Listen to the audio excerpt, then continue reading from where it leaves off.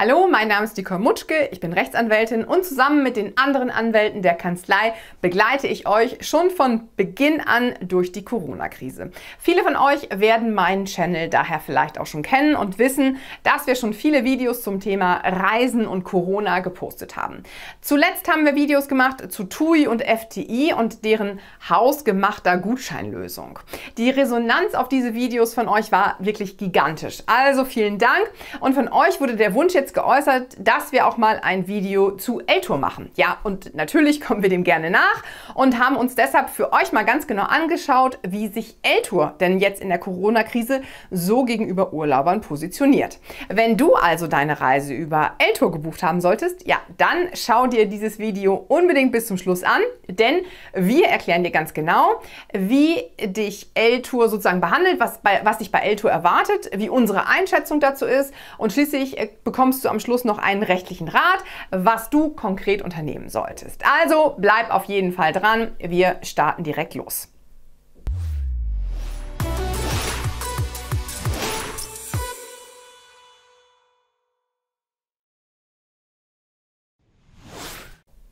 Wohl kaum etwas hat die gesamte Reiseindustrie in den letzten Jahrzehnten so stark beeinflusst und so stark getroffen wie die Corona-Pandemie. Und nach wie vor hat der Virus den Reisemarkt ja fest im Griff. Gerade erst hat die Bundesregierung ihre weltweite Reisewarnung bis Mitte Juni 2020 verlängert und ja, das sozusagen erstmal. Ne? Also wie es dann weitergeht, das kann man eben ja jetzt immer noch nicht sagen. Für die Reiseveranstalter entwickelt sich aber Corona nachvollziehbarerweise jetzt schon natürlich zu einem riesigen Problem. Denn nicht nur bricht der Markt für zukünftige Reisen ein, nein, natürlich auch Kunden, die eigentlich jetzt gereist wären oder reisen wollen, die wollen jetzt ihr Geld zurückhaben, weil die Reisen ja nicht stattfinden konnten. Und bei diesen Rückzahlungen von Kunden, da geht es eben tatsächlich um Milliarden. Und wie reagieren denn nun die Veranstalter? Wie reagiert nun L-Tour auf diese besondere Situation? Bevor wir konkret mit L-Tour starten, möchte ich dir erstmal an dieser Stelle ganz kurz erklären, wie die aktuelle Rechtslage bei einer Reiseabsage zurzeit eigentlich aussieht. Das ist nämlich ganz eindeutig eigentlich und auch ziemlich simpel. Auch wenn man das zurzeit nicht glauben mag, äh, wenn man sieht, wie sich viele Reiseveranstalter verhalten. Eigentlich es aber nach wie vor so, dass Reiseveranstalter, die eine Pauschalreise absagen oder eben wenn eine Reise nicht stattfinden kann, ihren Kunden den Reisepreis unverzüglich erstatten müssen. Und unverzüglich, das heißt spätestens innerhalb von 14 Tagen nach der Abreise musst du dein Geld zurückerhalten. Es gibt jedoch einen Plan der Bundesregierung, aber Plan, das ist ganz wichtig, der das ändern möchte.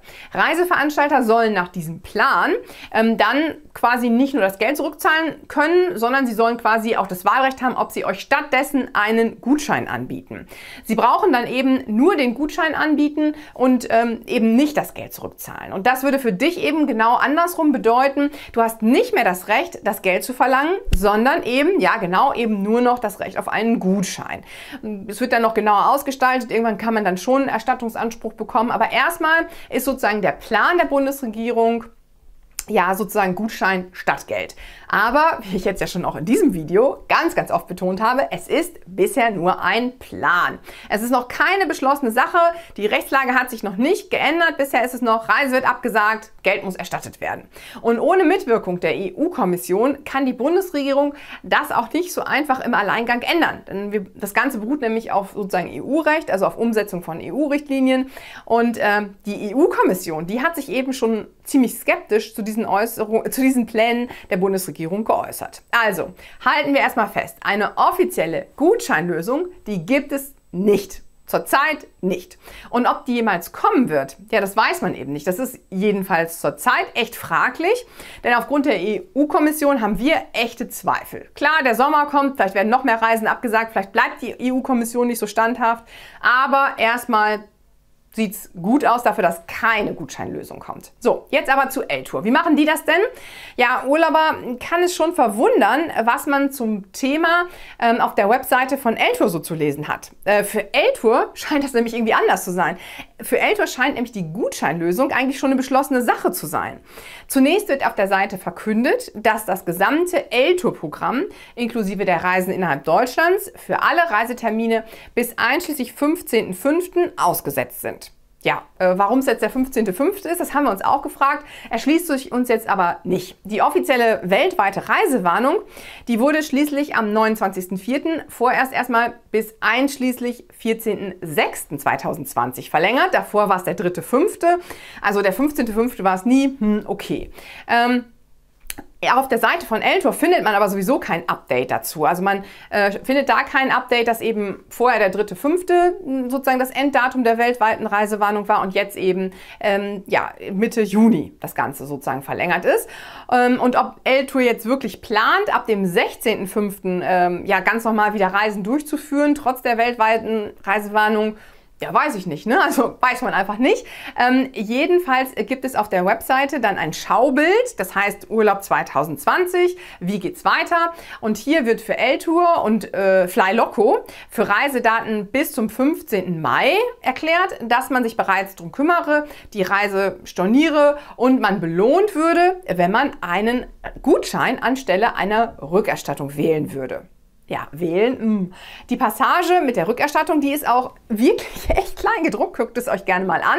Und die wird teilweise sogar noch von so einem plus 50 Euro Button verdeckt. Also man muss da wirklich schon sehr, sehr genau hinsehen, um das überhaupt lesen zu können. Aber gut. Dann heißt es noch Gutschein mit Bonus bis zum 31.12.2021 beliebig einlösen. Um mehr über den Gutschein zu erfahren, muss man dann schon wirklich tiefer ins Eingemachte einsteigen, also in die Seite bis zu den FAQ, also den häufigen Fragen. Und darin findet man dann die Angabe, dass man neben dem Wertgutschein auch noch einen L-Tour Treue-Rabattcoupon in Höhe von 50 Euro pro Buchung bei Pauschalreisen und von 25 Euro bei reinen Hotelbuchungen erhalten soll. Ja, und das Beste, ja, du musst gar nichts tun als Urlauber, ne? sondern L-Tour macht das dann einfach so. L-Tour würde dann in den nächsten Tagen schriftlich oder per E-Mail informieren und dann würde man im Anhang den L-Tour Wertgutschein erhalten. Ja, Komisch ist allerdings, dass man äh, weiterlesen kann, dass die Regelung für alle Kunden gilt, deren abgesagte Reise mit Reisezeitraum 14. März bis einschließlich 30. April liegt. Ja, äh, wer das bis dahin gelesen hat, der hat jetzt irgendwie nicht wirklich den Eindruck, dass ähm, L-Tour jetzt sozusagen seinen gesetzlichen Erstattungspflichten nachkommt, die ja erstmal immer, egal welcher Reisezeitraum, unabhängig von irgendeinem Wahlrecht gelten. Also sprich, Reise ist abgesagt, dann 14 Tage später muss erstattet werden. Es drängt sich vielmehr der Eindruck auf, ähm, ja, dass L-Tour jetzt erstmal so tut, als wären die Pläne der Bundesregierung, Gutscheinlösung, jetzt schon beschlossene Sache. Aber nochmal, das ist nicht so und wir bezweifeln, dass das auch so kommt. Ne? Also die Bundesregierung wünscht sich das, aber noch ist es eben nicht dazu. Ja, äh, nicht dazu gekommen. Kommen wir jetzt aber zu der Frage, warum finden wir eigentlich solche Wertgutscheine so blöd? Was sehen wir daran so kritisch? Und äh, warum raten wir die jetzt eigentlich von der Annahme des Gutscheins ab? Klingt doch erstmal ganz gut und du kriegst doch einen kleinen Goodie obendrauf. Ja, im Grunde gilt auch das, was wir schon bei TUI und FTI erklärt haben. Für den Gutschein, das muss man sagen, spricht natürlich erstmal das Extraguthaben. 25 bzw. 50 Euro. Das ist aber dann auch echt schon wirklich alles, was für diesen Gutschein spricht. Echt deutlich mehr dagegen deutlich mehr spricht dagegen. Und das äh, eben nicht erst seit Verlängerung der weltweiten Reisewarnung. Ähm, denn man muss einfach sagen, der Reisemarkt hat sich ja Corona-bedingt jetzt schon total verändert und ist erstmal ähm, ja, zusammengebrochen. Das muss man einfach so sagen. Und das gilt eben nicht nur für Deutschland, sondern weltweit. Und ob und wann sich der Tourismus jetzt wieder erholt, das ähm, lässt sich einfach wirklich nicht abschätzen. Das liegt auch nicht an der Reisewarnung. Fakt ist jedenfalls aber erstmal, dass die offizielle Reisewarnung deutlich verlängert verlängert wurde.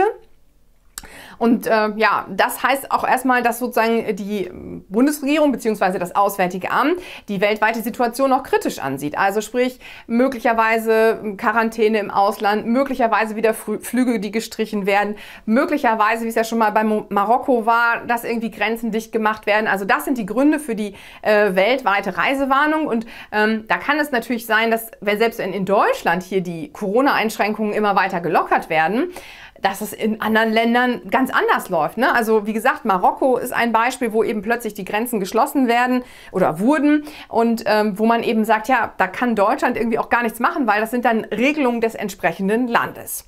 Ja, und neben diesen sozusagen Reiseproblemen kommen natürlich auch noch ganz praktische Probleme. Viele sind äh, ja verunsichert und müssen vielleicht auch das Geld erstmal zusammenhalten. Ne? Also teure Urlaube stehen jetzt vielleicht bei euch auch nicht mehr an erster Stelle der geplanten Ausgaben. Denn klar, vor Corona ist nicht nach Corona. Kurzarbeit, Arbeitslosigkeit und sonstige Umsatzeinbrüche, die haben sich ja bei vielen von uns Spuren hinterlassen. Und klar, wer von euch Kinder hat, der weiß, wovon ich rede. Ähm, manchmal ist der Jahresurlaub vielleicht auch schon schlicht für die Betreuung der lieben Kleinen draufgegangen. Ähm, das sind jedenfalls alles wirklich keine guten Voraussetzungen für eine schnelle Erholung des Reisemarktes. Aber was heißt das eben für die großen Reiseveranstalter wie Eltour? Ja, natürlich versucht Eltour in so einer Situation seine Barmittel, also das Geld, zusammenzuhalten und zu verhindern, dass äh, eben bereits erhaltene Anzahlungen zurückgezahlt werden müssen. Kann ich total verstehen. Klar, unternehmerisch macht das Sinn. Kein Unternehmen möchte gerne Gelder, die einmal mühsam eingesammelt wurden, dann direkt zurückzahlen. Aber jetzt stellt sich eben die entscheidende Frage für dich. Warum solltest du L-Tour das Geld jetzt belassen? Warum solltest du quasi L-Tour einen Kredit geben? Ja, denn nichts anderes ist natürlich ein Wertgutschein. Ähm, diesen Kredit bekommst du zwar sozusagen verzinst, in Anführungsstrichen, also vergütet mit 50 bzw. 25 Euro. Du musst aber bedenken, dass du als Urlauber dann grundsätzlich erst einmal ja das Insolvenzrisiko eines großen Veranstalters mitträgst. Ne? Die sogenannte Insolvenzsicherung, die Versicherung, die es eigentlich geben soll bei Pauschalreisen, ja, die ist eben tatsächlich nicht immer Allheilmittel. Und das haben wir gerade alle bei der großen Thomas Cook-Insolvenz im letzten Jahr schmerzlich erfahren müssen. Ne? Da hat die überhaupt nicht gereicht. Also, falls Eltour in Schwierigkeiten geraten sollte, was wir natürlich alle nicht hoffen, aber wo wir auch alle in Corona-Zeiten sagen, ja, ausgeschlossen, bei wem ist das schon ausgeschlossen, ne? ist das eben nicht. Ähm, und da trägst du eben das Risiko mit, dass die Insolvenzversicherung jetzt, wenn eben tatsächlich da was schiefgehen sollte, wie bei Thomas Cook nicht reicht und deshalb dein Guthaben am Ende eben ja nicht viel wert oder nichts oder je nachdem, jedenfalls, äh, dass du nicht alles zurückbekommst. Und ähm, da muss man sagen, da ist natürlich so ein kleines extra Reiseguthaben da herzlich wenig nützt. Ne? Wenn man das Risiko sieht, dann muss man sagen, dafür sind natürlich dann 25 bis 50 Euro, die es dann äh, bei einer Pauschalreise sind, reichlich wenig, wenn äh, das ganze Geld im Zweifel weg sein könnte oder jedenfalls ein ganz, ganz großer Teil. Du musst dich also fragen, ob es wirklich sinnvoll ist, ob du es wirklich riskieren willst, für 25 bzw. 50 Euro eben in dieses Risiko zu gehen, dass du einen Großteil deiner Reisezahlung ja verlieren könntest. Insbesondere bei teuren Fernreisen, ja, die eben auch wirklich in die Tausende Euro gehen, muss man sich fragen, will ich das wirklich? Klar, wenn es nur um so ein kleinen, kleines Wochenende geht, dann kann man das überlegen. Aber wir raten dir davon ab, eben freiwillig diese Gutscheinlösung von L-Tour zu wählen. Unser Rat für dich als L-Tour-Kunde ist daher ganz, ganz eindeutig. Warte nicht länger ab, lass dich nicht mit einem Wertgutschein abspeisen, sondern fordere zügig die Erstattung deines Geldes bei L-Tour. Mach das direkt mit äußerstem Nachdruck, denn wir wissen, dass zurzeit alle Reiseveranstalter sind da nicht so erpicht darauf. Und nicht zuletzt bei der Thomas Cook Insolvenz haben wir gesehen, Nachdruck hilft. Ne? Da haben wir es für die ganzen geschädigten Urlauber gemacht und wir haben für eine wirklich große Anzahl von geschädigten Urlauber ihr Geld auch retten können. Als erste Kanzlei in Deutschland haben wir damals auch eine Staatshaftungsklage gegen die Bundesrepublik Deutschland eingereicht. Hoffen wir, dass das jetzt hier nicht erforderlich ist, aber wir kennen sowieso noch einige andere Mittel und Wege, um dein Geld zu retten. Wenn du also unsicher bist, dann kannst du auch gerne mit uns Kontakt aufnehmen. Wir helfen dir gerne, dein Geld zu retten.